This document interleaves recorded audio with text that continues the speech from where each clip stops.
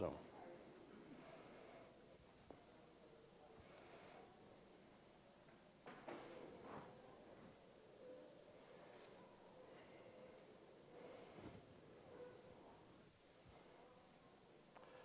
Good morning. Can you hear me back there? Can you hear me? All right. it's go time. It's my privilege to lead the discussion this morning. We continue our summer quarter of rotating teachers in the auditorium class, and it's my privilege to do it today. As you can see, our lesson is entitled Take Heed Lest You Fall. And I'm looking forward to leading our discussion this morning, and hopefully, we can glean some things that would be beneficial to all of us. As I've always said, and many of you have held this capacity before, the one who learns the most is the teacher. So I'm looking forward to leading our discussion this morning. I'd invite you to turn with us to our text this morning, which is 1 Corinthians chapter 10, and we'll read that verse of our text this morning. 1 Corinthians chapter 10, verse 12. Therefore, let him who thinks he stands take heed lest he fall. There's so much in that one verse, and we'll get into that as the lesson unfolds this morning. But at, at, at this time, Need to get my clicker.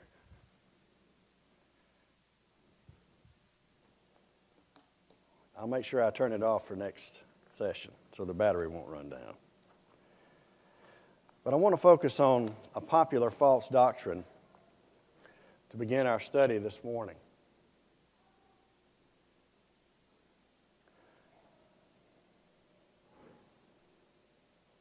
Well, advance it one slide. Can you?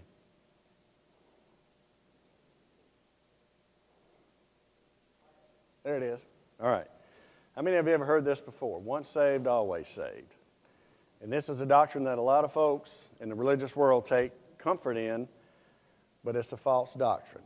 And I wish to expand on that a little bit further. The proof text or the proposed proof text of this false doctrine is found in 1 John chapter 4 verses 12 through 16. no one has seen God at any time. If we love one another, God abides in us and his love have been perfected in us. By this we know that we abide in him and he in us because he has given us of his Spirit. And we have seen and testify that the Father has sent the Son as Savior of the world. Whoever confesses that Jesus is the Son of God, God abides in him and he in God. And we have known and believed the love that God has for us. God is love, and he who abides in love abides in God and God in him. Certainly, that's a very comforting section of Scripture. And this is the proposed proof text that would support that once you're saved, you're always saved. There's nothing you can do to fall from grace. Do we agree with that? I'm afraid that's not correct. And we're going to come provide several uh, sections of Scripture this morning that will prove that this is a false doctrine.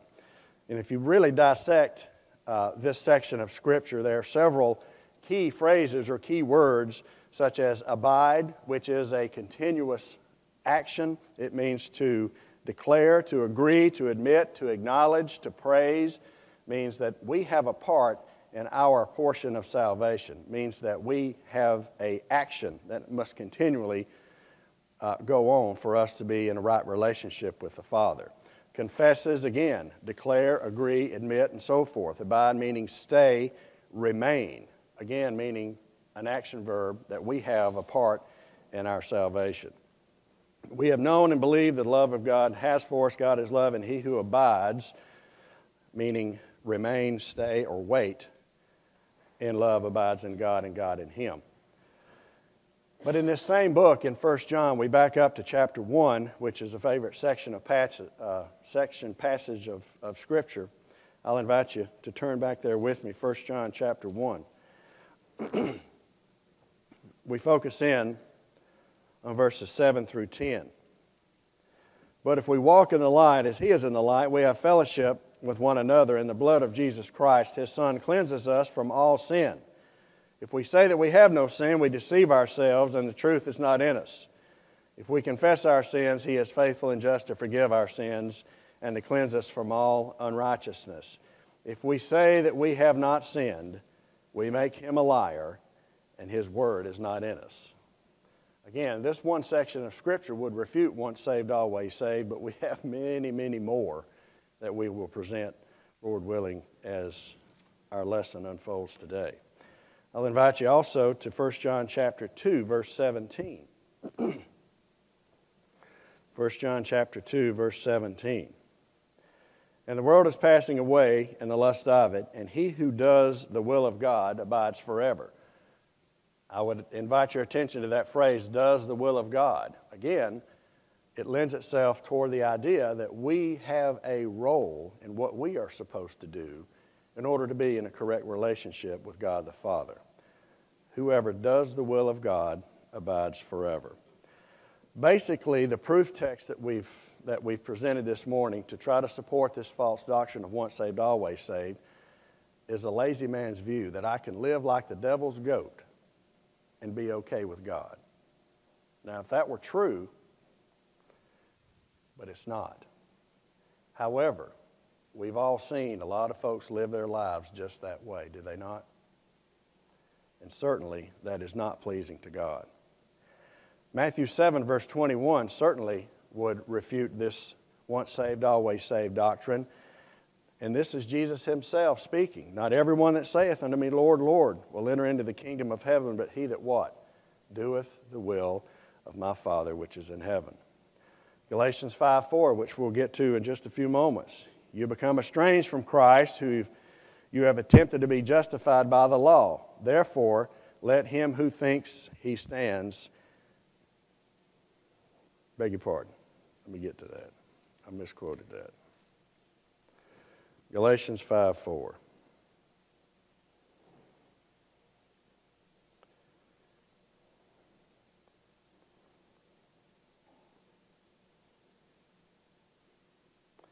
You have become estranged from Christ. You have attempt, you who attempt to be justified by the law, you have what? Fallen from grace. That is not where we want to be, fallen from grace. And again, we go back to the text that we started with this morning, 1 Corinthians chapter 10.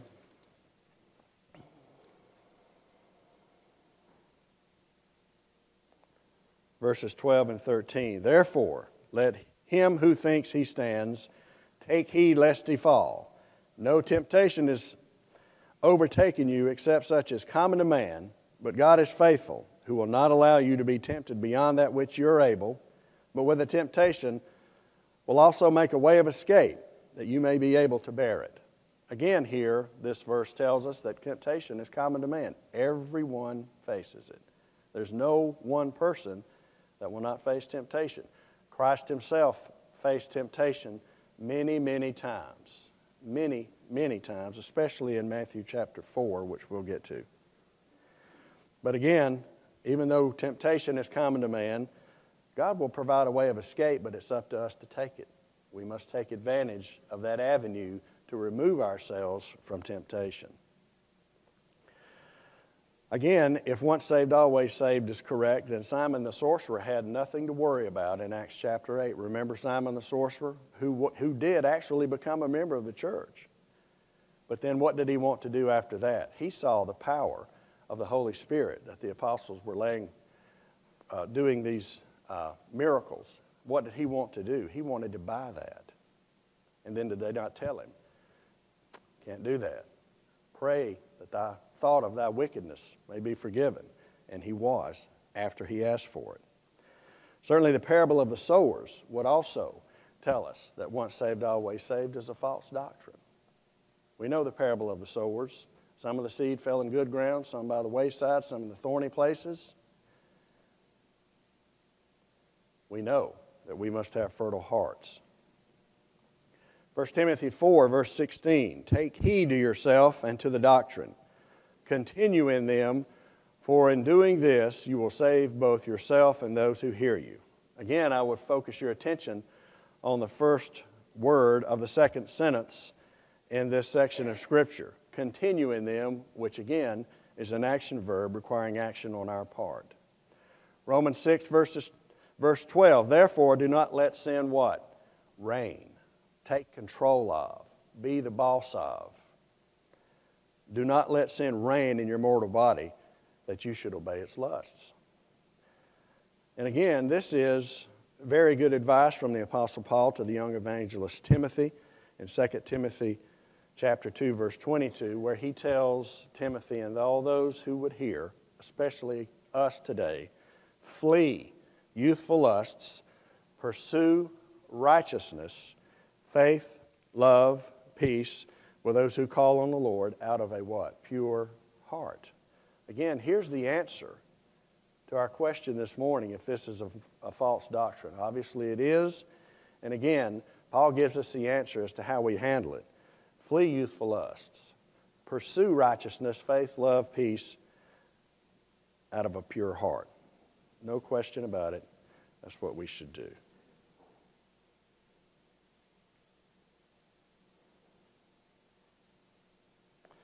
Let me see if this thing works this time. Ah, here we go. All right. I submit to you that the old term backsliding is a gradual process. It doesn't happen overnight. It kind of eases up on us, and we get more and more comfortable with not doing some of the things we should, doing some of the things we shouldn't. Certainly, backsliding is a gradual process. And the Bible defines it as such. Turn with me to Philippians chapter 3. Philippians chapter 3 of Philippians, again, a book of joy, four short, cha- four, four short chapters. Say that three times fast. But it's packed with encouragement and edification as Paul writes this from a prison cell. Philippians chapter 3 will focus in on verses 12 through 14. Not that I have already attained or am already perfected, but again, here's the answer that Paul's giving us. But I press on, that I may lay hold of that for which Christ Jesus has also laid hold of me. Brethren, I do not count myself to have apprehended, but I do one thing, forgetting those things which are behind and reaching forward to those things which are ahead. Again, here's the answer I press toward, which means that we have a part to do. I press toward the goal for the prize of the upper call of God in Christ Jesus. What a marvelous section of Scripture, and one that we can certainly take comfort in. The pathway of life is littered with those who have fallen by the wayside. And again, we preach in order to persuade men so that they may understand that we have a part in trying to get to heaven. Now, again, we're saved by grace, there's no question about that, but we have an active role in our salvation. Matthew chapter 7, the latter part of the Sermon on the Mount. Jesus himself tells us in verses 13 and 14 Enter by the narrow gate, for wide is the gate, and broad is the way that leads to destruction, and many there be that go in therein. Because narrow is the gate, or straight is the gate, and narrow is the way. Straight and difficult is the way which leads to life, and few there be that find it. Jesus told us off the bat there are going to be a few that find it. But the road to destruction is wide and broad. And I'm sorry to say that a lot of folks are on that pathway. Galatians 5 4 again, we go back to that text. You have become estranged from Christ. You have attempt to be justified by the law. Again, here Paul is speaking to those who are trying to go back to the law of Moses. But again, he's saying there's no need for that anymore. There's no need to be justified by the law of Moses.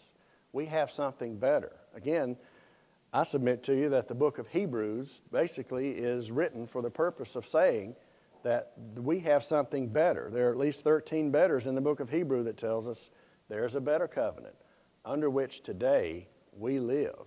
And aren't we thankful for that? Aren't we thankful for that? If not, I submit to you that we should be. Hebrews chapter 2, verses 1 and 2 is also an excellent section of Scripture that lends itself toward our discussion this morning. Hebrews chapter 2, verses 1 and 2. Therefore, we must give the more earnest heed to the things that we have heard, lest we drift away. You wonder why we encourage folks to try to be at every worship service, every area wide singing, every Brothers Keepers group event, every activity of the church, either here in this building or as a collaborative effort from other locations, from other congregations that we try to get together so that we can edify one another, so that we can em- empower one another, so that we can build up one another. What's the purpose of that? So that we won't drift away, so that we never get far from our anchor, the anchor of the soul. Therefore, we must give more earnest heed to the things we've heard, lest we drift away. For if the word spoken through angels proved steadfast, and every transgression and disobedient received a just reward, how shall we escape? How shall we escape if we what? Neglect so great a salvation. if we can just pause and imagine how wonderful heaven will be and how horrible hell is. We would do anything in our power to escape hell and gain heaven. And this is our goal, and this is what we're attempting to do as we live this life. We certainly don't want to let our love grow cold, as Matthew 24 12 through 13 tells us. And because lawlessness will abound, the love of many will grow cold. But he who endures to the end shall be saved. Again, Jesus is telling us we have a part in our salvation. We have a part in our salvation. And if all of this doesn't register, perhaps Jesus' words to the seven churches of Asia in the beginning of the last book of the New Testament, written by John inspired by the Holy Spirit. Revelation 2, beginning in verse 4, as he talks to the seven churches of Asia. Nevertheless, I have this against you, that you have left your first love. Remember, therefore, from where you have fallen, and then he tells them what to do repent and do the first works, or else I will come quickly and remove your lampstand from its place, unless what? You repent he continually encourages those seven churches of Asia. You're doing good, but here's where you're not, and this is what you need to do to fix it. Can we take benefit from those words today? I submit to you we can, and yea, we should. So, backsliding is a gradual process. Let's look at some examples of some apostasy in the Bible. Can you think of certain Bible people that are examples of apostasy off the top of your head. This is where you have a speaking part. How about, there's several, but we'll just look at a few. How about Lot? You remember what happened to Lot? remember what happened to Lot's wife? How many of you watched uh, Brother Phil Sanders this morning on Channel 57? He's great, isn't he? You remember him talking about Lot's wife? You remember what his topic was? was about the Old Testament versus the New, and we live under a better covenant. Excellently presented. Very easy and simple to understand. but we know what happened a Lot in uh, Genesis 13, where Lot's still with Abram, Abraham. They get into a squabble. And what does Abraham tell him? We be what? Brethren. Let's not fight. Let's get along because we're brethren. We need to act like it. We need to act like brethren toward each other, my herdsman toward your herdsman. We need to be like brethren. and then he gave him his choice. you see all this land in front of you. Which side do you want? Abraham let him have his choice. And which choice did he take? He, he took the well watered plains toward where? Sodom. So, again, if this is not proof that backsliding is a gradual process, Lot began that process when he pitched his tents toward Sodom because it was pleasing to the eye. He liked it. And he thought all of his people and his herdsmen and his family would like it too. But how did it end up? Not so good. Not good at all. I would submit to you also that this is one of the ones that you may have thought right off the bat. What's a good example of apostasy in the Bible? Obviously, the prodigal son. Here's the prodigal son. All is going well until the younger son says, You know what? I'm ready to live. Give me my inheritance, Father, and I'll go and I'll live it up. And he did exactly that. And he had a lot of friends until what happened? He lost his money. And what happened to all of his friends? They're gone. So then he's in the pig pen, which is not where a young Hebrew boy needs to be in the first place. And he's feeding the swine. And he's so hungry he wants to eat what he's feeding the hogs. Now that's hungry, isn't it? But who else does he have to blame but himself for being in that situation? But the one good thing about this story is what? the Bible tells us he came to himself. He's like, I did this, but I know what I need to do to fix it. And he went back to his father. And what was his father doing all that time while he was gone? Do I see my son? Do I see him coming back to me over the horizon? He saw him. And what did the father do? He ran to meet him.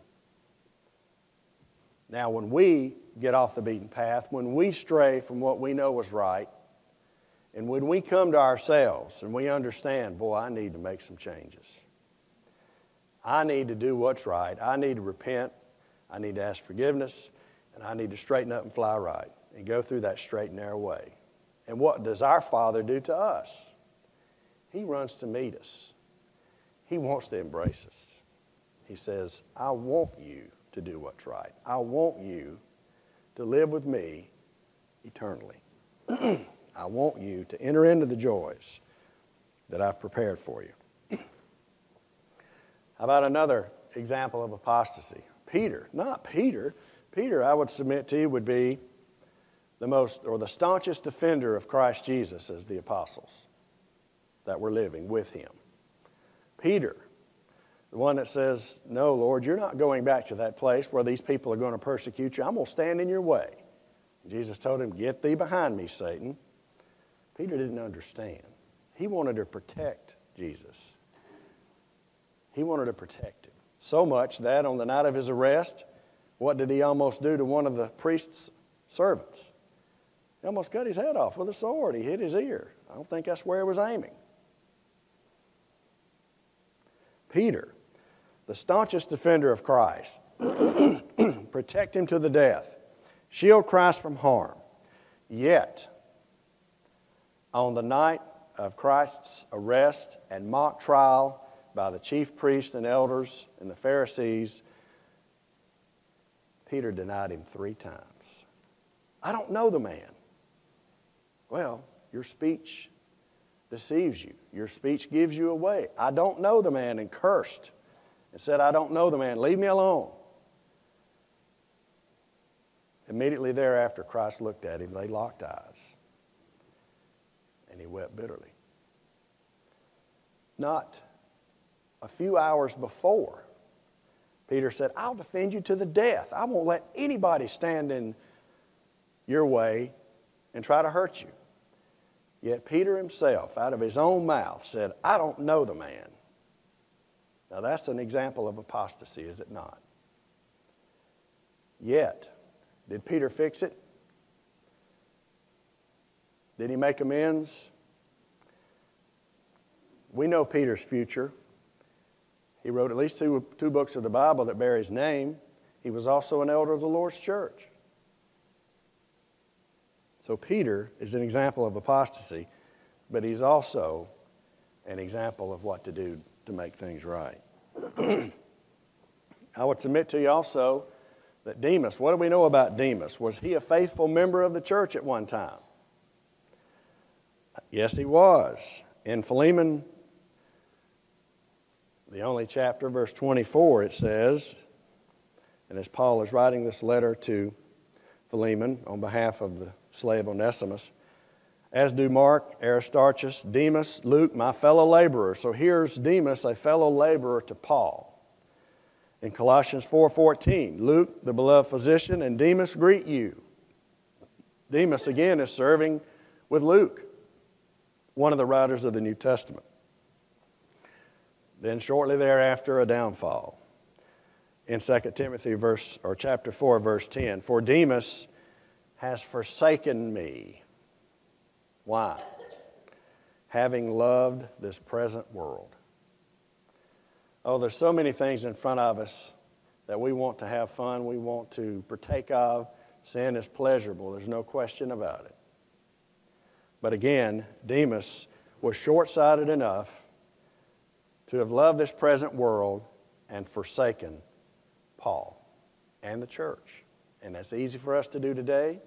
And again, I go back to, the, to my encouraging words just a little bit ago. Why do we encourage folks to worship with the saints, to go to area wide singings, to be part of Brothers Keepers groups? This is why.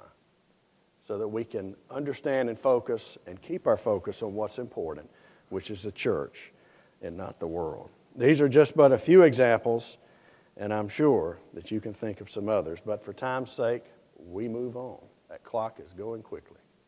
What does the Bible say about our ability to fall away? Hebrews chapter 4, verse 11. Let us therefore be diligent to enter that rest, lest anyone fall according to the same example of disobedience. Hebrews chapter 3, verse 12. Back up one chapter in that great, great book. Beware. Now, from the very first word of that verse, what does that word beware mean? Better stay on guard. Danger, warning, beware, brethren, lest there be in any of you an evil heart of what? Unbelief.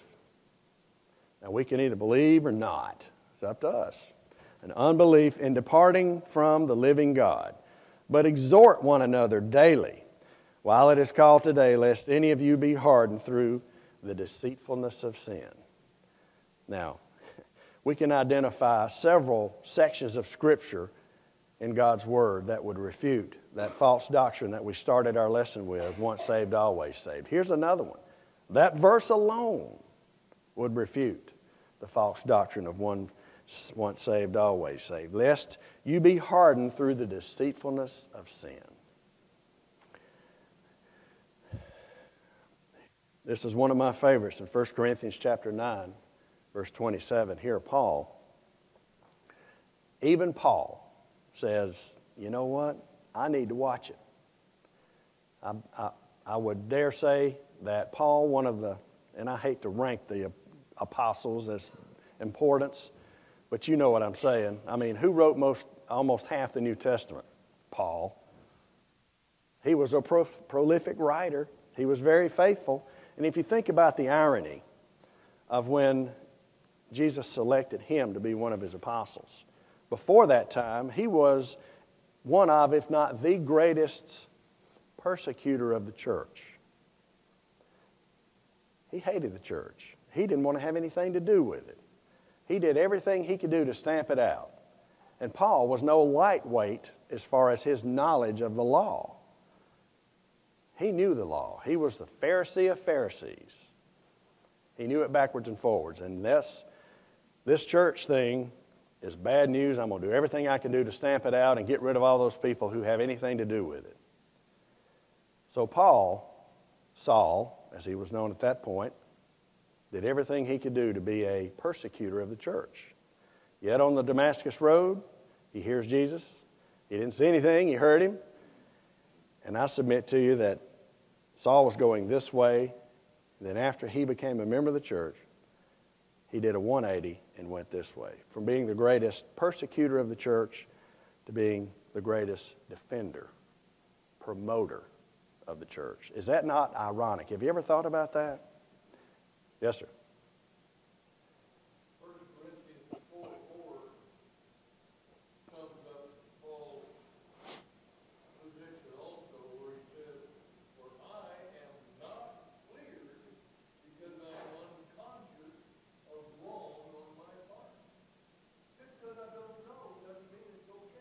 That's right. Exactly right. I mean, Paul did not rest on his laurels. And here in uh, this section of Scripture, in uh, 1 Corinthians 9 27, but I discipline my body, soul and body, and bring it into subjection, lest when I preach to others, I myself may become disqualified. not Paul, surely not Paul. Not Peter, surely not Peter. Yes, even Peter. Yes, even Paul. Should that not be a chilling reminder to us to be diligent, to protect our soul, to do what's right, to be part of the congregation, and do as much as we can to edify not only ourselves, but others? And again, probably the most famous section of Scripture that a lot of folks can go to to prove that you can fall from grace. 2 Peter chapter 2, verse 20. Here, Peter is teaching toward those, those that would present false doctrine. For it, after having escaped the pollutions of the world through the knowledge of our Lord and Savior Jesus Christ, which again would apply to us once we become members of the church, we escape the pollutions of the world.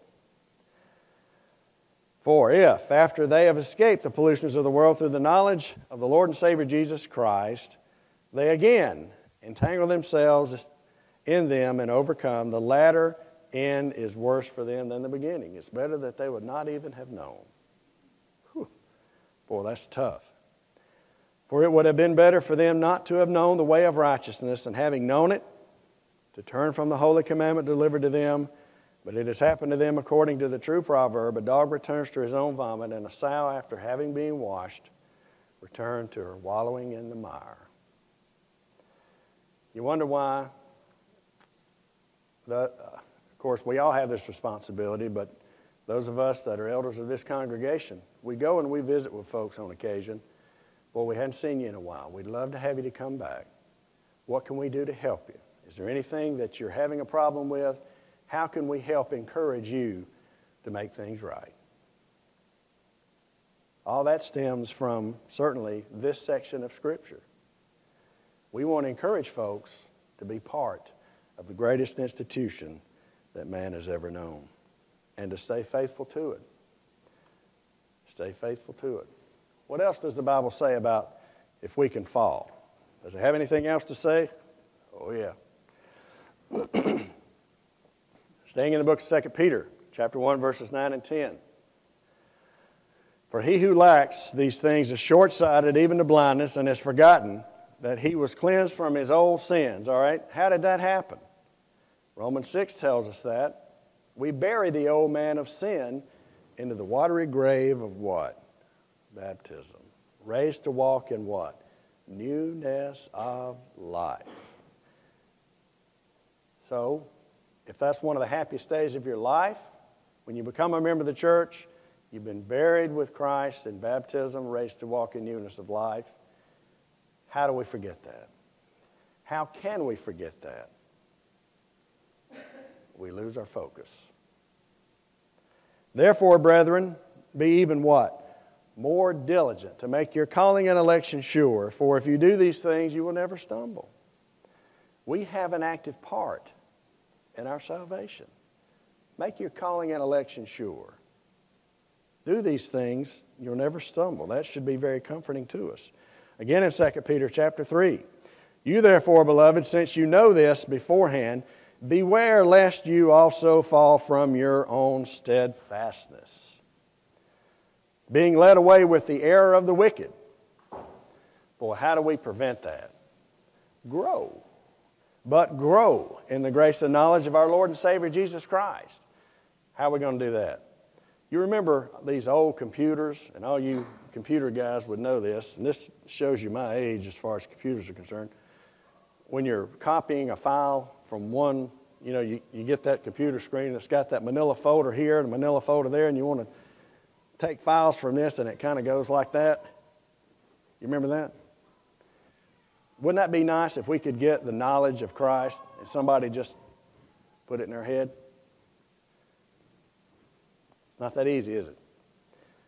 We've got to apply ourselves. Thus is why we're sitting here this morning, listening to some guy here boring and droning on. But I'm hopeful that we're gaining something from this. Hebrews 6 If they fall away, to renew them again to repentance, since they crucify again for themselves the Son of God and put him to open shame. Boy, if nothing else that we've studied this morning, if that doesn't hit you right between the eyes, I don't know what will. You know the horrible scene of Christ and what he had to endure during the process of his trial and the scourging and nailing to a cross. That's bad enough to go through once. But we certainly don't want to do that again and again and again. All right, I need to hustle because time is getting past. What are some evidences of backsliding? Well, we start neglecting God's word. We miss the bread of life, the loss of appetite. Again, when Jesus was being tempted, when he went up into the wilderness for 40 days and 40 nights, and Satan joined him out there. And on that last day, you go without food for 40 days, you're going to be pretty hungry. And the first thing uh, Satan tempts him with is what? Food. Turn these stones to bread. And again, Jesus' first response and his first three words of his sentence were what? It is written. Man shall not live by bread alone, but by every word that proceeds out of the mouth of God. We neglect God's word, we lose our appetite. That's another evidence of backsliding. Spiritual immaturity. Hebrews 5:12 For though by this time you ought to be teachers, you need someone to teach you again the first principles of the oracles of God, and you come milk and not solid food. So we're reverting. If we're not growing, we're dying. Is that not right? We're not growing, we're not reading our Bibles, we're not aiming toward being teachers. Now, that's one of the benefits of having these rotating teachers in the auditorium class. We have some of these guys that typically don't teach in an auditorium type setting, but once you do and you know that it's coming, you're going to study. I guarantee you, you're going to study. And that's a good thing. Isn't that right, Robert? That's a good thing. Weakening prayer life. How often are we supposed to pray? Without ceasing. 1 Thessalonians chapter 5 tells us we're to pray without ceasing. But in this section of Scripture, Matthew 5, Jesus tells us how. And when you pray, you should not be like the hypocrites, for they love to pray standing in the synagogues and on the corners of the streets, that they may be seen by men. Surely I tell you, they have their reward, which is being seen by men.